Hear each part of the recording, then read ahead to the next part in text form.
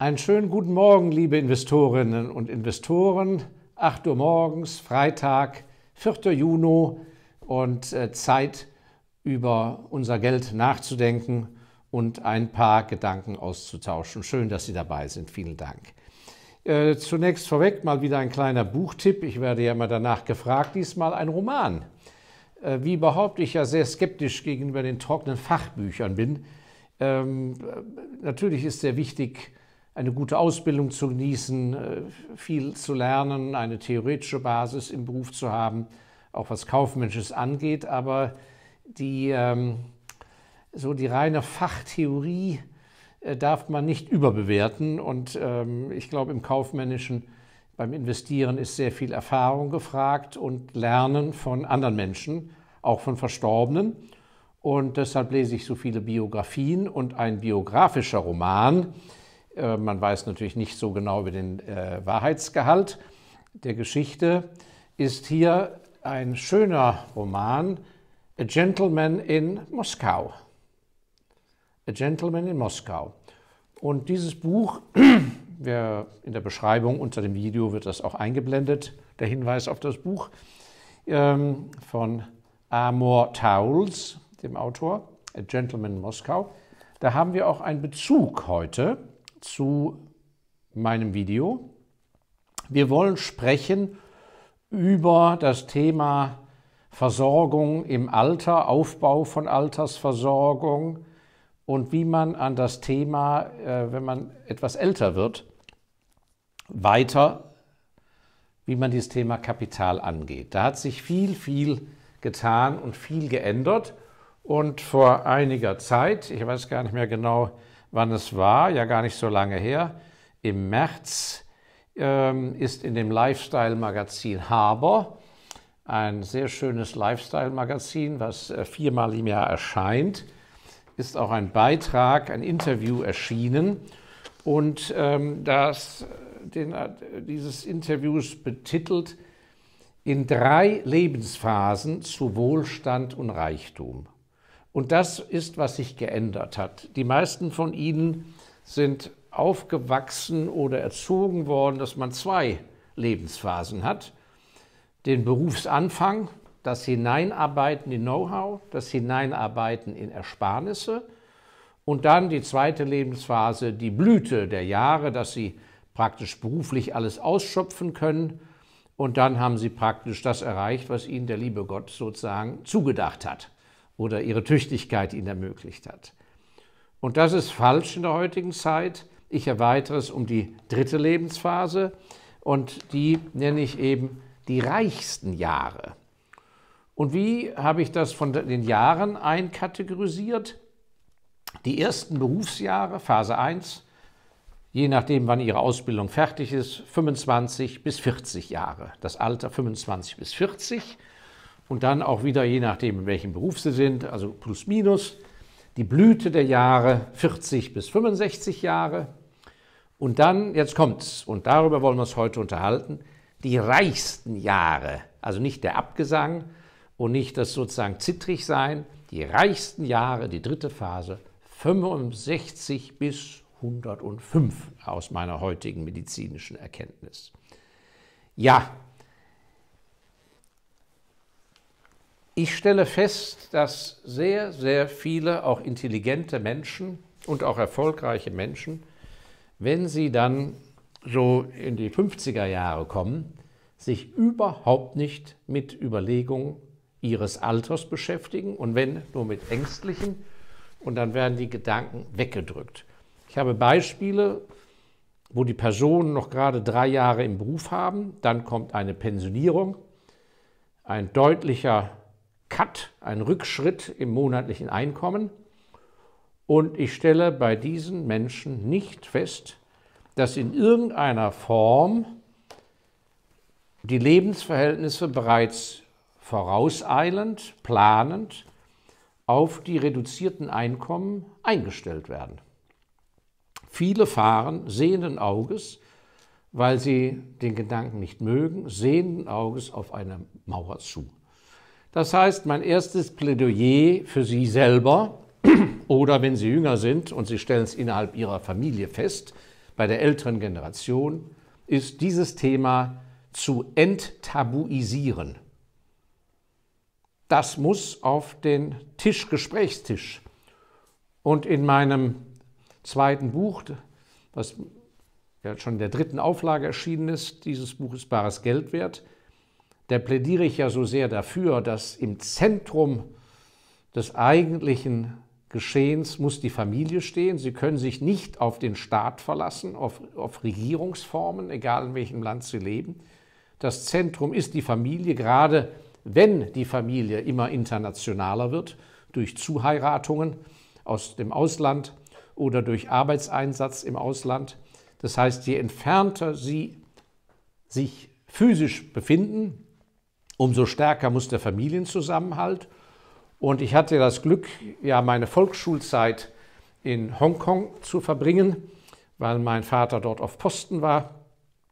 Und von daher habe ich sehr früh diese Auslandschinesen, die Overseas Chinese, kennengelernt und habe das früh mitbekommen, wie über Generationen hinweg Familien, Clans zusammenhalten, auch wenn sie sich sehr, sehr selten sehen. Und das war ja in einer Zeit, als es noch kein Internet gab. Das heißt also, nutzen Sie die Zusammenkunft ein, zwei, dreimal im Jahr, um über Gelddinge innerhalb der Familie zu sprechen. Und bei diesem Thema gehört für alle Beteiligten aller Altersklassen der Blick auch auf die dritte Lebensphase nach der eigentlichen aktiven Arbeitszeit, der klassischen, die Zeit 65 bis hoffentlich 105, gehört dazu. Nicht, wie wir es meistens erleben, mit Ängstlichkeit, oh Gott, oh Gott, hoffentlich wird es reichen, oder aber als junger Mensch, ich kann mir das und das gar nicht erlauben, denn ich muss ja fürs Alter vorsorgen. Also dieser Begriff schon Vorsorgen, ähm, das Leben ist ein Paket. Die Kindheit gehört dazu, die Ausbildung, das Erfahrung sammeln, das Fehler machen, aber auch das, das Fahren, das Fahren mit dem vollen Karton, das Fahren mit voller Ladung, den LKW noch voller beladen, aber mit guten Achsen, gute Wege finden, das gehört dazu und wenn es einem möglich ist, auch im Familienverbund, soll, muss das genutzt werden. Das heißt, die eigentlich für Sie als Investoren, und das ist auch eine ja, unglaubliche tolle Aussicht für die jungen Zuhörer und Zuschauer, das eigentlich richtig super Geld verdienen, das beginnt ja erst, wenn man den Angestelltenberuf hinter sich hat. Weil wenn Sie 65 und 70 sind und wenn Sie es richtig angestellt hat, haben, haben Sie schon viele Fehler gemacht und hatten viel Zeit, über Ihre Fehler nachzudenken. Und vor allem haben Sie, je nachdem, welchen Beruf Sie waren, unglaublich viel Erfahrung sammeln können. In der Blüte der Jahre haben Sie aber überhaupt gar keine Zeit, diese Erfahrung auf Ihrer zweiten Säule, nämlich die Säule der Kapitaleinkünfte, das überhaupt einzubringen. Weil wenn Sie ein richtiger großer Kracher sind und verdienen im Jahr, sagen wir mal, als, als Chefarzt, als Chirurg zwei Millionen im Jahr, da haben Sie überhaupt keine Zeit, über Ihre Kapitalanlagen großartig nachzudenken. Sie haben auch keine Zeit, den besten Berater zu finden. Sie sind im Prinzip vom Zufall abhängig und Sie haben, haben ja auch gar keinen, Sie schaufeln einfach das Geld rein. Und das ist ja in ganz vielen Berufen so. Wenn Sie als Top-Vorstand gigantisch bezahlt werden, dann ist die Erwartungshaltung, dass sie jede Sekunde ihres, des Tages und der Nacht für das Wohl der Firma einbringen. Gerade deshalb kriegen sie ja so viel Geld. Also das wird vielen so gehen. genauso, wenn sie intensives Kundengeschäft haben und, und, und, dann müssen sie für die Kunden da sein. Wenn sie ein Erfinder sind, müssen sie im Labor äh, sich, sich austoben und so weiter. Das heißt, in der Blüte der Jahre müssen Sie sehen, dass Sie aufgrund Ihrer, des Berufseinstieges und so weiter, dass Sie das richtig kapitalisieren können. Sie werden aber feststellen, so richtig Zeit und Muße, das Kapital so richtig auf den Turbo zu setzen, diese Zeit und Muße haben Sie nicht. Und umgekehrt in der Berufsanfängerphase, in dem Aufbau ihrer Netzwerke, den richtigen Weg zu finden. Konzernkarriere, mittelständische Karriere, selbstständig, Unternehmer sein, Funktionär werden, was auch immer. Meistens starten sie ja mehr oder minder zufallsbedingt, je nachdem, welchen Beruf ihre Eltern haben, an welchem Ort sie wohnen, was für Lehrer sie haben. Zufall, schicksalsbedingt. Aber dann, wenn sie mal in einen Beruf, selbst wenn es der falsche ist, reingekommen sind, dann kommt der Tachometer, das Echolot in ihre Hand und können das richtig überlegen, wohin sie sich bewegen müssen, in welche Wassertiefe, auf was für ein Boot. So, und in dieser Zeit, da kommt es doch an, diesen Wasserweg, den Durchweg zu finden, auf, auf dem richtigen Schiff zu landen. Und da ist nicht die Zeit, darüber nachzudenken, äh, Tag und Nacht, wie sie also ihr, ihr Geld vermehren. Das ist ein Nebengleis. Und in der dritten Lebensphase ist es so ungeheuer wichtig, dass sie weiter sich bewusst werden, wenn sie 65 sind und ihnen sind 30 Jahre noch vergönnt, wo sie geistig fit sind und interessiert bleiben, noch 30 Jahre, dann sind sie ja gerade mal 95. Und die Zahl der Menschen, die 95 und älter werden und fit sind, ist größer, als sie denken. Bekannt ist es ja in Japan, das Land der Hundertjährigen und älter, aber auch in vielen, vielen anderen Ländern. Das heißt, 30 Jahre ab 65 ist genauso lang wie von 20 auf 50 Jahre. Es ist genauso lang wahrscheinlich wie die meiste Arbeitszeit von vielen von Ihnen, nämlich von 30 bis 60. Wenn Sie spät im Beruf starten, früh, sich früh pensioniert, haben auch nur 30 Jahre. Das heißt, ich behaupte, dass die meisten von Ihnen oder in Ihrer Familie, das können Sie feststellen, dass das langfristige Denken wird einzementiert und eingegraben an dem Tag, wo die Leute 65 oder 70 sind. Und es ist ein fataler Fehler. Und ich kann es nur wiederholen, ich habe es schon ein paar Mal erwähnt, in der Vergangenheit, als ich den ME-Fonds Special Values gegründet habe im Jahr 2002, hat mein ältester Investor mit dem Alter von 85 Jahren einen namhaften Betrag substanziell investiert, weil er von meinem Langfristkonzept überzeugt war und ich ihm die Garantie gegeben habe, kontinuierlich durchzuhalten. Und was soll ich sagen? Der Investor hat sein Kapital verdreifacht, mit 85 investiert, sein Kapital verdreifacht und ist mit 102 Jahren gestorben. Dieser Mann hat es richtig gemacht. Er hat ein Modell gewählt, wo, er, wo sein Kapital ihn nervlich nicht belastet hat. Er hat ein Modell gefunden, das ihn nicht übermäßig in Anspruch genommen hat, ein Modell, was er verstanden hat, wo er Vertrauen fassen konnte, wo er aber auch die, auf die Kontinuität sich verlassen konnte. Und das ist der ganz wichtige Punkt. Menschen, die älter werden, wollen ab einem gewissen Punkt nicht mehr allzu viele Veränderungen haben, weil es ihnen schwerfällt, sich denen anzupassen. Das heißt, in der Zeit, ich würde sagen, je nach Beruf, ich kann es ja nur verallgemeinern, aber so gesehen, wenn Sie aus der Blüte ihrer Jahre, wie ich es nenne, herauswachsen, also in das Ende von Phase, Lebensphase 2 kommen, wenn Sie die erreichen, müssen Sie sehr genau planen, dass Sie sagen, wo ist eigentlich meine Kernkompetenz für die nächsten 30, 40 Jahre? Wo will ich mein Know-how, was ich habe, anbringen und mit wem und welchen Menschen möchte ich mich beschäftigen, damit ich diesen Zug wie im Schlafwagen weiterfahren kann, dass mein Kapital aber ein Turbo hat. Denn nur so werden Sie die Ängste überwinden vor Altersverarmung. Und genauso werden Sie in der Lage dann sein, brutal ehrlich anzuerkennen, oh, ich habe ja ehrlich gesagt, ich bin jetzt 64, ich habe einfach nicht genug erwirtschaftet. Ich habe zu, die, die, die, die, Firmenpension ist gering oder die Beamtenpension ist recht gering.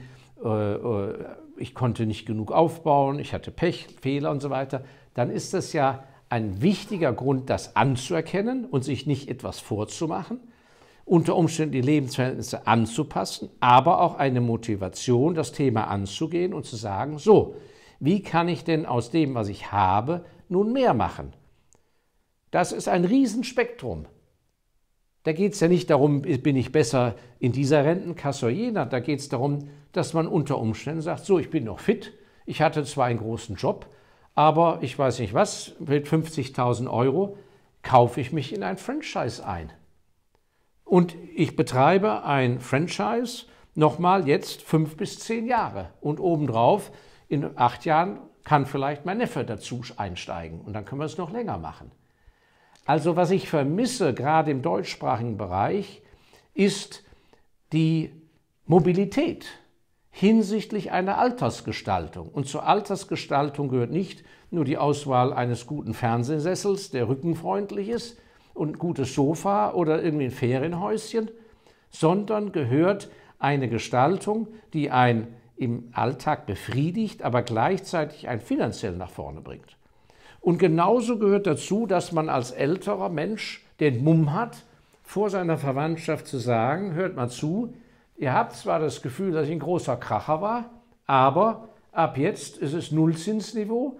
Ich habe leider gar keinen Zugang äh, zu Sachwerten und ich kann nun mal die Risiken und Schwankungen nicht vertragen. Es ist so, ich habe das ausprobiert die letzten Jahre. Ich will keine Risiken, auch wenn es dumm ist von mir und wenn Sachwerte besser sind.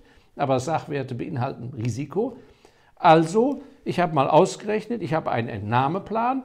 Ich bin jetzt recht vermögend und wenn ich alt werde, werde ich wahrscheinlich gerade plus minus null sterben auf dem Konto. Dann ist das auch völlig in Ordnung. Aber um das ohne Nervenbelastung gut hinzukriegen, müssen Sie auch das sehr gut planen und professionell machen. Wie gestalte ich einen Entnahmeplan aus meinen Ersparnissen und meinem Vermögen? Da gibt es ja verschiedene Fragen aufzuwerfen. In welchen Währungen erspare ich mir die Negativzinssteuer, also den Strafzins? Wann steige ich aus welchem Sachwert aus? Was für einen Vorrat halte ich? Zahle ich mir monatlich Minibeträge aus und ziehe die Sonderbeträge ab? Oder zahle ich mir monatlich einen besseren Betrag aus? Also wie mache ich das? Auch das muss organisiert werden und gestaltet werden. Und ich kann Ihnen eins versichern, ein ganz gefährliches Thema und deshalb auch hier dieser schöne Roman A Gentleman in Moskau, ein Mensch, der die russische Revolution miterleben musste und das aus der Oberschicht kommend, hat sein Leben aber gerettet, ähm, habe ich bewusst erwähnt, warum. Sie können von einer Sache absolut überzeugt sein. Was immer an Veränderungen kommen wird, in der Zukunft, egal in welchem Land sie leben. In dem Moment, wo sie sich aus dem aktiven Geschehen von Kapitalbildung, von Vermehrung von Kapital ausklinken wegen Ängstlichkeit und nur noch auf ihren Nominalwerten sitzen, in dem Moment, wo sie sagen, Gott sei Dank, ich kriege ja eine staatliche Beamtenpension, die reicht ja schön aus, sind sie dem Untergang geweiht. Es ist ein Trugschluss zu glauben, dass eine fixe Pension, also ein Versprechen von einer Regierungsform, sie kaufkraftmäßig die nächsten, sagen wir, 30 Jahre, oder was ist denn, wenn sie 105 werden, 40 Jahre, sie kaufkraftmäßig auf einer Ebene tragen lässt. Unter Umständen werden die Versprechen, die man ihnen gemacht hat, gebrochen. Unter Umständen frisst die Inflation alles auf. Und vor allem gehören sie mehr und mehr, je älter sie werden, ja, zu einer einflusslosen Kaste, weil die Musik machen jüngere Menschen und sie sind danach ein sehr alter Mensch. Deshalb das sich verlassen auf ein gesellschaftliches System, völlig losgelöst welcher Partei, ist in sich ein Fehler und es ist eine absolute Herausforderung für die Familie, auf eigene Beine zu kommen und den eigenen Grips anzuschalten. Und natürlich werden Sie wahrscheinlich, wenn Sie 95 sind, vielleicht nicht mehr das alles überblicken können. Deshalb gehört es auch dazu, innerhalb eines Familienkreises oder wenn man kaum eine Familie hat, dass man sich etwas aufbaut und sagt, jawohl, ich setze jemand als meinen Erben ein, wenn ich keine Nachkommen habe. Und dafür muss dieser Mensch mir aber helfen, wenn ich mal schwach werde. wer sich mit diesen Themen nicht beschäftigt, wird in meinen Augen einen großen Kapitalzuwachs vermissen, den er sehr leicht haben könnte. Denn die Möglichkeiten, Zugang zu finden zu dem Thema sind gewaltig. Und wenn Sie, wie gesagt, 60, 50 Jahre Lebenserfahrung haben und Sie haben Ersparnisse aufgebaut in der Kombination mit dem Know-how, gibt es unglaublich viele Wege mit Aktien, Aktienfonds, Immobilien, gewerblichen Dingen innerhalb einer Familienstruktur sich ganz anders aufzustellen. Und ich kann nur sagen, junger Mensch, Mensch in der mittleren Phase, Altersphase, setzen sich zusammen, sprechen sie über die Dinge völlig angstfrei, so, und, sondern ganz unter dem Aspekt, wie holen wir die vollen Potenziale unserer schöpferischen Kraft, wie holen wir die raus? Und das ist ein so wunderbares Gefühl und deshalb macht es auch Spaß, älter zu werden und deshalb macht es auch Spaß, jungen Menschen Dinge aufzubauen und mit Mühen Erfahrungen zu sammeln und Fehler zu machen, weil sie wissen, es lohnt sich ja. Ich habe ja eine lange Reise. Eine Reise, wo ich das Gefühl habe, mit 65 bin ich nur noch sozusagen ein, ein passiver Golfspieler, ist ja ein ganz schlechter Ausblick. Und wie gesagt, die Abhängigkeit von Systemen ist äußerst gefährlich. Ja, und jetzt habe ich ganz den Faden verloren. Ich hatte ja extra den Gentleman in Moskau erwähnt. Ich habe es erlebt, dass nach der Öffnung des Westens, des Zusammenbruchs des Sowjetregimes, des, dem Zusammenbruch der gesamten Zentralplanwirtschaft des, von Osteuropa, Zentralplanwirtschaft, ein System, was nichts taugt, und nichts erschaffen hat. Unseren Wohlstand in der Welt verdanken wir der freien sozialen Marktwirtschaft und nicht der Zentralplanwirtschaft. Und Gott sei Dank ist das System zusammengebrochen. Ich war kurze Zeit danach in St. Petersburg und Moskau auf Geschäftsreise. Eine sehr gute Geschäftsreise war das, war nicht auf meine eigene Kappe. Und dadurch hatten wir Gelegenheit, mit sehr vielen einflussreichen Menschen zu sprechen. Und was kam raus? Es war in Russland eine unglaubliche Veränderung im Gang, wie Sie natürlich nachvollziehen können. Es gab unglaubliche Profiteure, es gab Leute, die waren sehr verunsichert, aber es gab eine Kaste, die war im Eimer, schon damals. Nämlich, selbst wenn es ehemalige Minister waren aus dem Regime vorher, die alle Anspruch auf eine Staatspension hatten in Rubeln. Das waren die Loser ohne Ende, weil die Währung eben zum Teufel ging. Und alle diejenigen, die sich nicht einklinken konnten in die neuen Möglichkeiten, ja, das waren diejenigen, die wirklich verarmt sind. Und ich glaube, dass diese Aussichten auch für Sie genauso existieren, auch wenn wir keine Zentralplanwirtschaft haben. Das Risiko, wenn Sie den Löffel abgeben über die Kontrolle Ihres Schicksals, wenn Sie den Löffel abgeben, dann sind sie, glaube ich, sehr bald auch in Moskauer Verhältnissen von 1991. Ja, wiederum ein kleiner Beitrag mit Ideenanregungen. Kontaktieren Sie Herrn Kolb und mich, wenn Sie zu diesem Gebiet Fragen haben. Wir haben da viel Erfahrung, wie man solche Dinge konkret gestaltet aber mir ging es heute mehr um das allgemeine Aufrütteln und wiederum um das Mutmachen. Nicht so sehr dieser Tenor, es wird nicht reichen und sind die Renten sicher, alles Quatsch, sondern wie holen Sie eigentlich aus diesem wunderbaren Leben das meiste für sich und Ihre Familie heraus. Dazu wünsche ich Ihnen eine sehr glückliche Hand. Haben Sie Freude an dem Thema, gehen Sie es an Seien Sie schöpferisch, gestalten Sie. In diesem Sinne, Ihr Markus Elsässer.